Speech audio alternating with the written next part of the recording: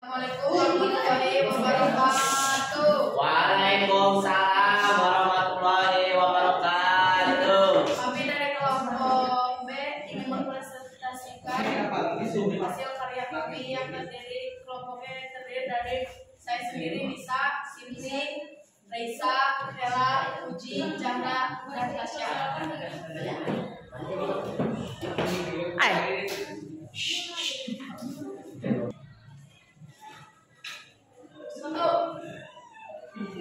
Dalam karya kami di sini, kami membuat da- ada kaligrafinya dan juga eh, ada gambar meteor dan juga yang yang. Di sini juga ada kapal yang